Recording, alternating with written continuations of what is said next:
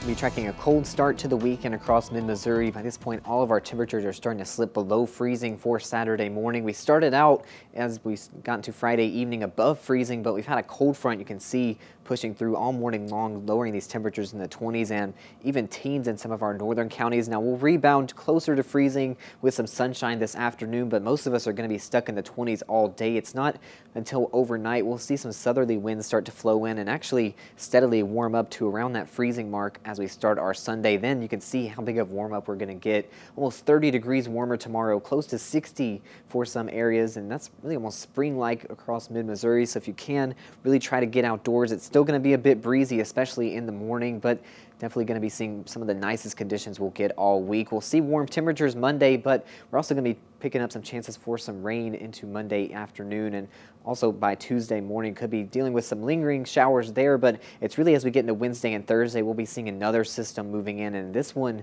could be bringing some wintry impacts if we get temperatures low enough. We'll still be seeing a lot of details to iron out with this system, especially with how this low pressure wants to track through mid-Missouri. We're seeing a lot of these models want to favor this more southerly track that brings us more snow, but if that does shift, we could get a bit more of these icy conditions in mid-Missouri. Still quite a ways out in the forecast, so we will see those changes on the way throughout the week. And again, we are going to be starting out very cold for this Saturday with those clear skies. It's as we get some high pressure moving through later today, that's what's going to actually warm us up steadily overnight back to those mid to low 30s. And then big warm up on the way for our Sunday. We should stay mostly clear there, but a little bit of that cloud cover will move in early Monday morning. Again, we still will make it almost to those low 60s in the afternoon, but that's just as we're tracking this system moving in. That's not going to get here until later in the afternoon and then kicking off a round of these showers, even maybe a couple rumbles of thunder, but right now we haven't really seen the environment set up very well for us to get those storms here. We'll really see that in southern Missouri. And then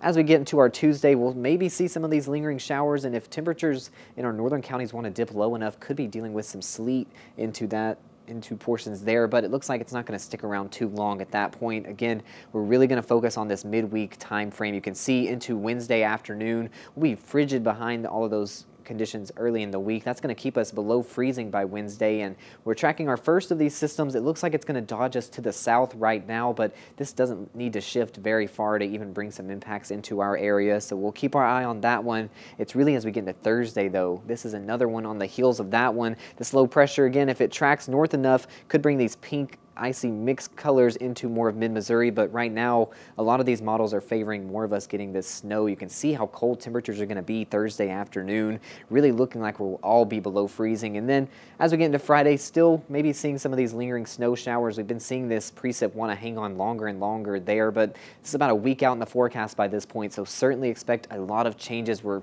really going to be looking for some bitterly cold conditions behind this system, though this is a look about to next weekend temperature-wise. We're almost in the extreme for these below average values that we're going to get across mid-Missouri, so you definitely will want to enjoy those nice conditions we'll have to end the weekend. Tomorrow going to be that best time to get out almost all week long as we were tracking that next winter system on the, on the way into the later portions of the week.